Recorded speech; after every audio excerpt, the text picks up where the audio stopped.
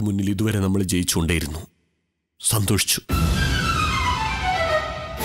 അപ്പോഴൊന്നും അവരുടെ വേദന നമ്മൾ അറിഞ്ഞില്ല. ഇപ്പോൾ നമ്മൾ അനുഭവിക്കുന്ന ഈ വേദന ദൈവം തന്ന ശിക്ഷാസന്ധ്യ അതനുഭവിച്ചേ പറ്റൂ.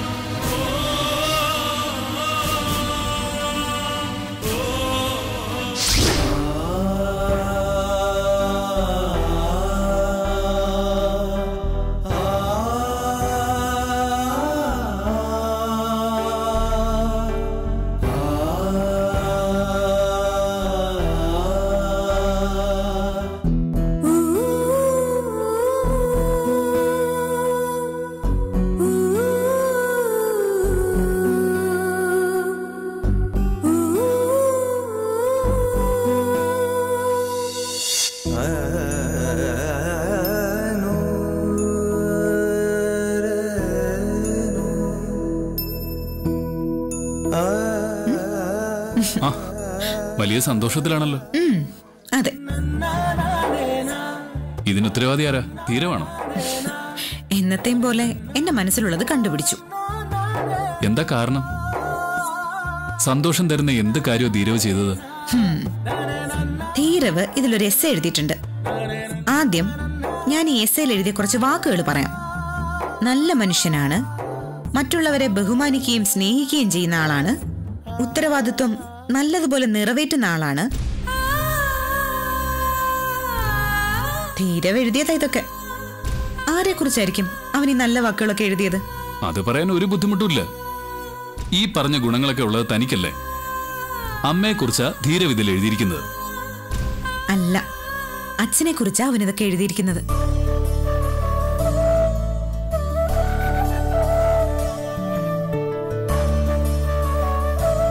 ഇത് ഞാൻ അവന്റെ ബാഗിൽ നിന്ന് എടുത്തതാ.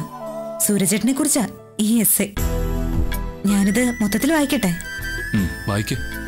അവൻ ഇംഗ്ലീഷിൽ എഴുതിയിരിക്കുന്നത് അയ്യോ എങ്കി വേണ്ട. ഞാൻ വെറുതെ വാവിളിച്ചിരിക്കാന്നല്ലാതെ ഒരു ഗുണവുമില്ല ഞാനിത് മലയാളത്തിലാക്കി വായിച്ചു തരാം. എന്താ? എങ്കി വായിക്കേ. എന്റെ അച്ഛൻ എന്റെ ഹീറോ.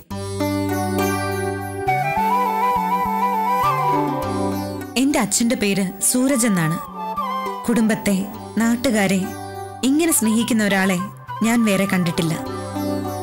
എല്ലാവരോടും അച്ഛന് സ്നേഹവും ബഹുമാനവുമാണ്.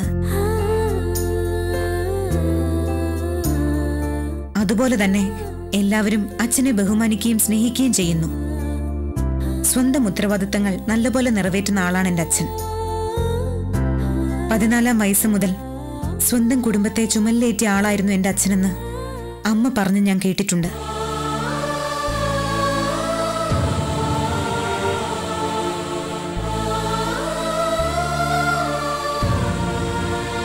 അതിനുവേണ്ടി അച്ഛന് വലിയ ത്യാഗം സഹിക്കേണ്ടി വന്നു. ആ ത്യാഗത്തിൽ സ്വയം വളരുന്നതോടൊപ്പം അച്ഛൻ കുടുംബത്തെയും വളർത്തി.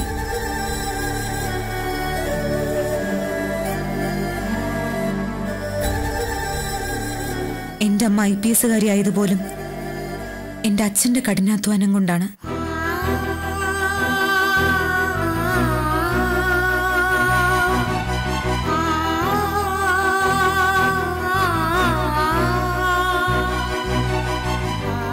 ഇന്റർനാഷണൽ പാചക മത്സരത്തിൽ ഒന്നാം സ്ഥാനം നേടിയിട്ടുണ്ട് എന്റെ അച്ഛൻ. എങ്കിലും മറ്റുള്ളവർക്ക് മുമ്പിൽ അതൊന്നും കാണിക്കാതെ സാധാരണക്കാരനെ പോലെയാണ് എന്റെ അച്ഛന്റെ പെരുമാറ്റവും ജീവിതവും.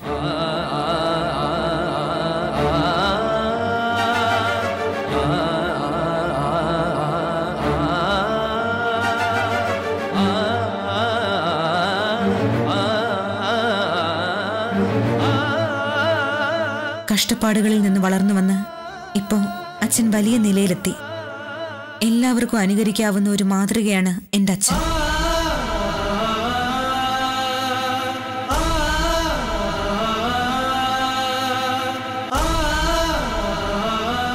ഞാൻ എന്റെ അച്ഛനെ സ്നേഹിക്കുന്നു. സത്യസന്ധനായ ആ മനുഷ്യനാണ് എന്റെ ദൈവം. എന്റെ എല്ലാം.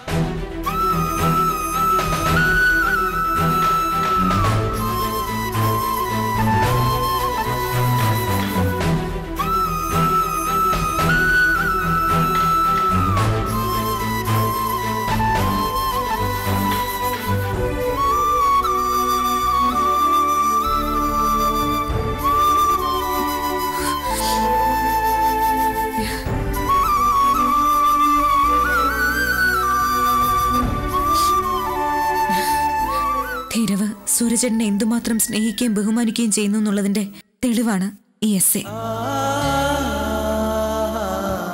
അച്ഛനും മകനും തമ്മിലുള്ള സ്നേഹത്തിന്റെയും ആത്മബന്ധത്തിന്റെയും തെളിവായ ഈ കുറിപ്പ് ഞാൻ എന്നും സൂക്ഷിച്ചു വെക്കും.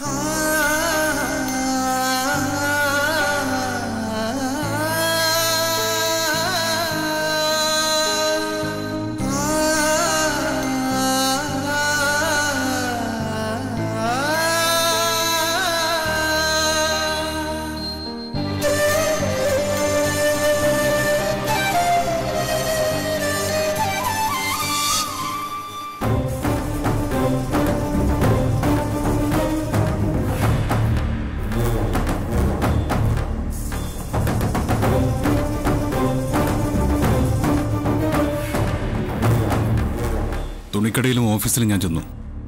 മീര അവിടെ ഉണ്ടായിരുന്നില്ല. മീനാക്ഷിയും സുരേഷും മാത്രമേ ഉണ്ടായിരുന്നുള്ളൂ.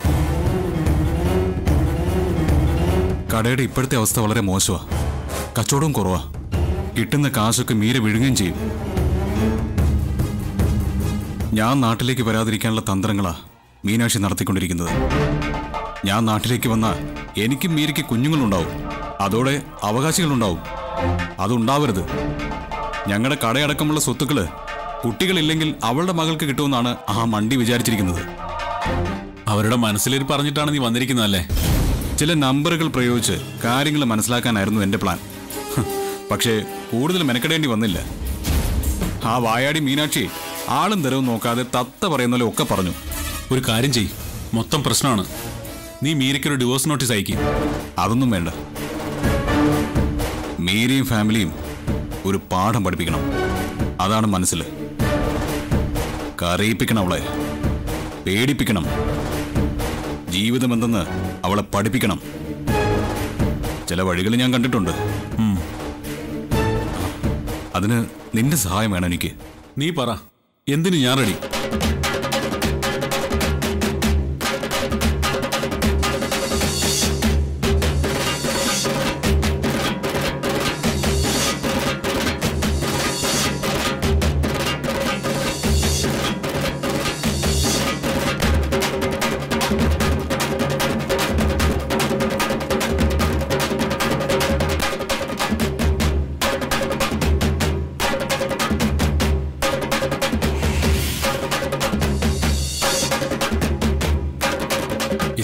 ബുദ്ധിമുട്ടാണ്.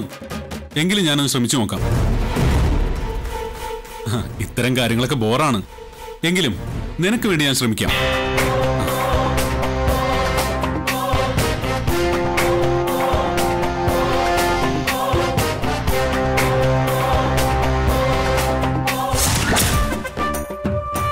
മുറ്റത്ത് കാറ് കാണാത്തത് കൊണ്ട് എന്തോ ഒരു വിഷമം.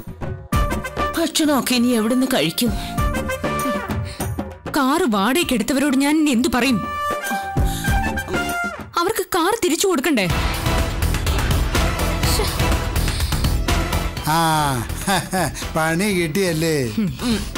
അവൻ കാശ് അടയ്ക്കാത്തോണ്ടല്ലേ വണ്ടിപിടുത്തക്കാരെ കാർ എടുത്തോണ്ട് പോയത്? അത് നമ്മുടെ കുറ്റമല്ലല്ലോ. അതല്ല. എങ്കിലും കാർ വാടകയ്ക്ക് എടുത്തത് ഞാനല്ലേ. അവരെന്നോട് കാർ എവിടെയാന്ന് ചോദിച്ചാലോ? ഇടി നീ പേടിക്കാതെ. അതിനുള്ള മറുപടി ഞാൻ അവരോട് പറഞ്ഞോളാം. ചോദിക്കാൻ ഇങ്ങോട്ട് വരട്ടെ. ഏ? അതാരാ?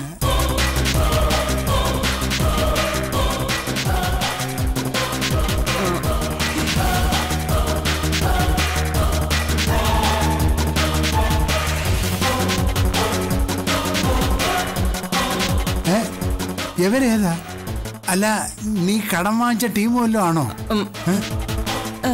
കാറിന്റെ ആൾ വല്ലതും ആണോ?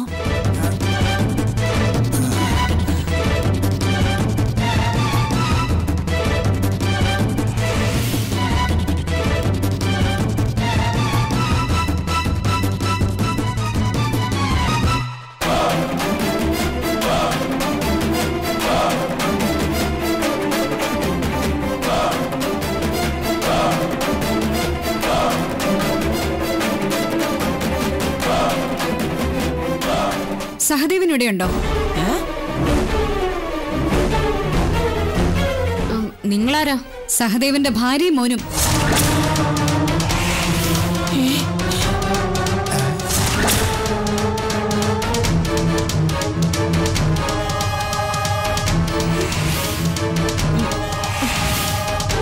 അദ്ദേഹം ഇവിടെയുണ്ടെന്ന് എനിക്കറിയാം. അതുകൊണ്ടാണ് ഇങ്ങോട്ട് വന്നത്.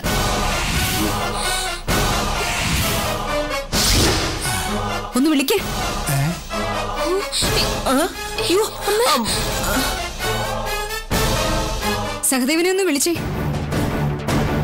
ദേ വീട്ടിൽ കയറി വന്ന് തോന്നിയാസം പറയരുത്. അതെ സഹദേവന്റെ ഭാര്യയാണ് ഇത്.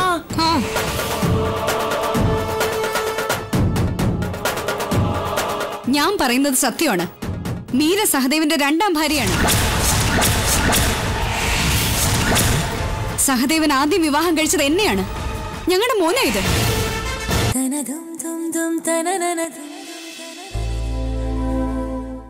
സഹദേവൻ ആദ്യം വിവാഹം കഴിച്ചത് എന്നെയാണ്. ഞങ്ങളുടെ മോന ഇത്. തെമ്മാടത്തിനും പറയുന്നോ? സഹദേവേണ്ണ എനിക്കറിയാം. സഹദേവേണ്ണ ഒരു ഭാര്യയുള്ളൂ. അത് ഞാനാ. ഇറങ്ങി പോടി വെളിയിൽ. നമ്പരുമായിട്ട് വന്നിരിക്കുന്നോ? അല്ല ഞാൻ പറയുന്നത് വിശ്വസിക്കണം. കുറച്ചു കാലം ഞങ്ങൾ പിണക്കത്തിലായിരുന്നു. ആ സമയത്താണ് മീര അയാൾ വിവാഹം കഴിച്ചത്. എന്നിട്ട് വീണ്ടും അയാൾ എന്റെ അടുത്തേക്ക് വന്നു. മീരെ വിവാഹം കഴിച്ചത് അബദ്ധമായി പോയി എന്ന് പറഞ്ഞ്. കഴിഞ്ഞ തവണ ഗൾഫിൽ പോകുന്നതിന് മുമ്പ് സഹദേവൻ എന്റെ അടുത്ത് വന്നിരുന്നതാ. മകനെന്ന് പറഞ്ഞ ജീവന സഹദേവന്.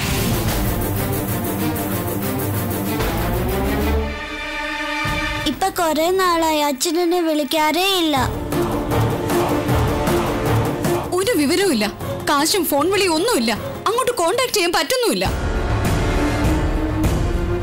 ഞാനറിയാതെ നാട്ടിൽ വന്ന് ഇവിടെ താമസിക്കുന്നതുകൊണ്ടാ ഫോൺ വിളിക്കാത്തതെന്ന് കരുതി. അതാ അന്വേഷിച്ചു വന്നത്. നീ പറയുന്നതൊക്കെ സത്യമാണോ? സത്യമാണ്. അവൻ ഇത്രയ്ക്ക് വഞ്ചകനാണെന്ന് ഞാൻ കരുതിയില്ല. എന്നാൽ ഇത് വല്ലാത്ത ചതിയായിപ്പോയി. അവൻ ഇവിടെ ഇല്ല. ആ അവൻ ഷിപ്പിലാണെന്നാ പറഞ്ഞിരിക്കുന്നത് അവൻ കുറെ കാലമായിട്ട് ഇവിടെ ഫോൺ വിളിക്കാറുമില്ല കാശ് വായിക്കാറില്ല. ഇനി ഗൾഫിൽ വെച്ച് അയാൾ വീണ്ടും കല്യാണം കഴിച്ചോ ഇല്ലയോ എന്ന് ആർക്കറിയാം? നിങ്ങൾ കള്ളം പറയാ. സഹദേവൻ അത്തരക്കാരനാണെന്ന് എനിക്ക് തോന്നുന്നില്ല. ഇത്രയും പറഞ്ഞിട്ടും മീരയ്ക്ക് വിശ്വാസം വരുന്നില്ലേ? ഈ ഫോട്ടോ കണ്ടിട്ടെങ്കിലും വിശ്വാസം വരുമല്ലോ.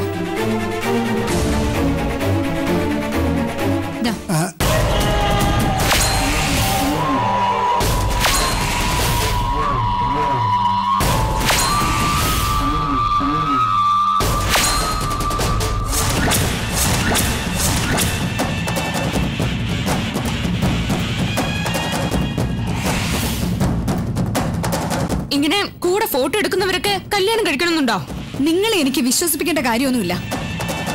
എന്റെ ഭർത്താവ് ഇവിടെ ഉണ്ടെന്ന് കരുതി വന്നതാ ഞാൻ. അയാൾ ഈ ഭൂമിയിൽ എവിടെയുണ്ടെങ്കിലും ഞാൻ കണ്ടുപിടിച്ചിരിക്കും. എനിക്കും എന്റെ മോനും ജീവിക്കാനുള്ള കാശ് തരാതെ അയാൾ എത്ര നാൾ മുങ്ങി നടക്കുമെന്ന് എനിക്ക് അറിയണമല്ലോ. മോൻ വാ.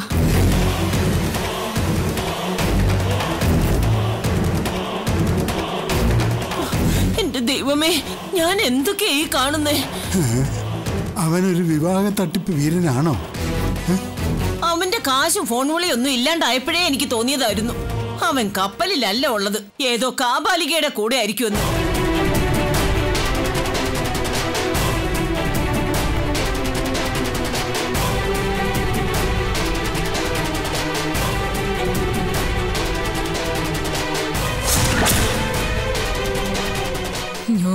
കൊല്ലും അതിന് കഴിഞ്ഞില്ലെങ്കിൽ ഞാൻ ആത്മഹത്യ ചെയ്യും.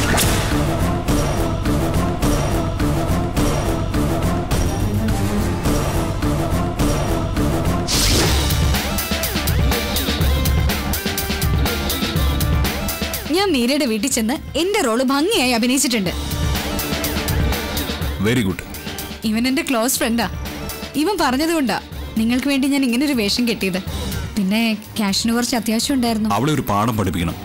അതാണ് എന്റെ മനസ്സിൽ. ഇതിവിടം കൊണ്ട് തീരില്ല. നിങ്ങളുടെ സഹായം ഇനിയും വേണം എനിക്ക്. ഇവൾ റെഡിയാണ് സഹദേവ. ഏതായാലും നനഞ്ഞു. ഇനി കുളിച്ചു കയറാം. അല്ലേ സുധാമണി? അതെ. നീ എന്റെ തുണിക്കടയിലും ഓഫീസിലും ചെല്ലണം. ഞാൻ പറയുന്ന പോലെ ചെയ്താൽ മതി.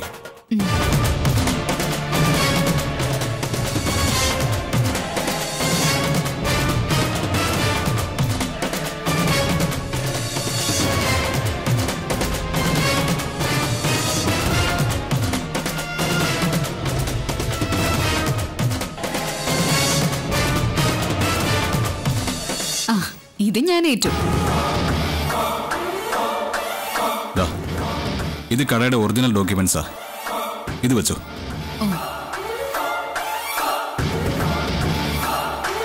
ഇങ്ങനെ ഒരു നാടകം കളിക്കുന്നതിൽ വിഷമമുണ്ട്.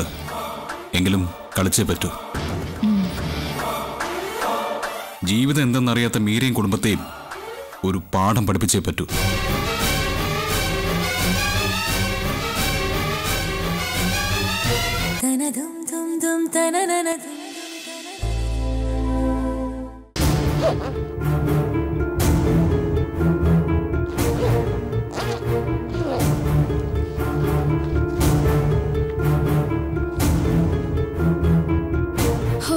ആശ്വാസായി.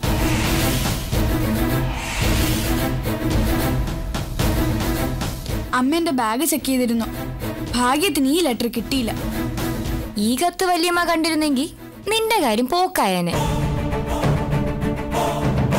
ഇത് ഇനി നിന്റെ കൈ വെച്ചിരുന്ന ശരിയാവില്ല. നിന്താ? അവിടെ കിടക്കട്ടെ.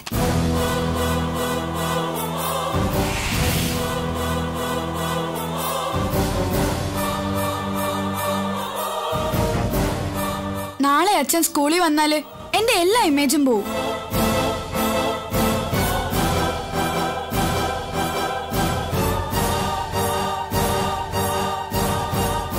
അന്ന് ഫാൻസി ഡ്രസ്സിൽ അച്ഛന്റെ വേഷം കെട്ടിയോണ്ടാ പ്രൈസ് പോയത്. മാത്രമല്ല കൂവലും കിട്ടി. അച്ഛൻ നേരിട്ട് സ്കൂളിൽ വന്ന അതിനേക്കാൾ പ്രശ്നമാ. നീ ഇനി പേടിക്കണ്ടെന്നേ. സൂരജ് വല്യച്ഛൻ നാളെ സ്കൂളിൽ വരാനൊന്നും പോകുന്നില്ലെന്നേ. നീ ലെറ്റർ കൊടുത്തില്ലല്ലോ. ക്ഷണിച്ച കാര്യം സൂരജ് വല്യച്ഛൻ അറിയില്ലല്ലോ. ശരിയാ. നാളെ ടീച്ചർ അച്ഛൻ എന്തുകൊണ്ട് വന്നില്ല എന്ന് ചോദിക്കുമ്പോ ഞാൻ എന്തു പറയും? കള്ളം പറയണം. എന്റെ കയ്യിൽ പല നമ്പറുള്ള സ്റ്റോക്ക് ഉണ്ടല്ലോ. നല്ല ഒന്നാം തരം കള്ള ഞാൻ പറഞ്ഞുതരാം. എന്നാ ഇപ്പൊ തന്നെ പറഞ്ഞു പഠിപ്പിക്കേ. നീ തിടുക്കം കാണിക്കാതെ. ആരും അറിയാതെ വേണമല്ലോ പഠിപ്പിക്കാൻ.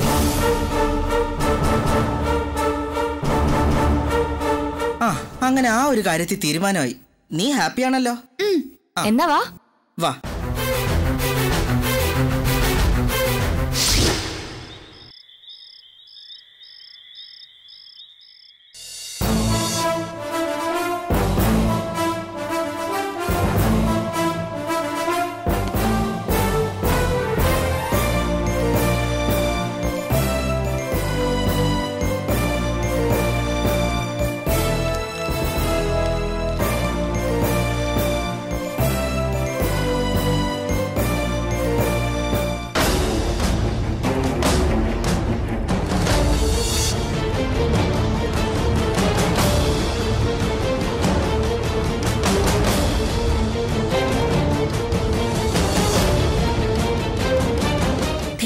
ഇതെന്താ പറ്റിയത്? അച്ഛനും മകനും തമ്മിൽ അത്രയ്ക്ക് ആത്മബന്ധം ഉണ്ടായിരുന്നല്ലോ. അവൻ പറഞ്ഞത് സൂരജേട്ടൻ അറിഞ്ഞാൽ എന്തുമാത്രം വിഷമിക്കും. സൂരജേട്ടനെ കുറിച്ചുള്ള അവന്റെ ധാരണ തെറ്റാണ്. അത് തിരുത്തണം. സൂരജേട്ടൻ നാളെ സ്കൂളിൽ ഗസ്റ്റായി പോയിരിക്കണം. അവൻ സൂരജേട്ടനെ കുറിച്ച് മനസ്സിലാക്കാൻ അത് ആവശ്യമാണ്.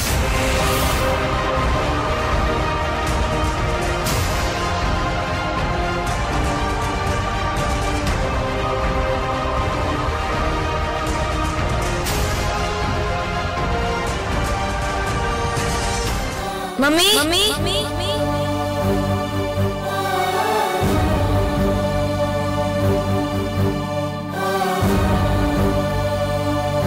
ഇനിയുള്ള കാലം ധ്യാനെ നിങ്ങൾ കണ്ടുപോകരുത്.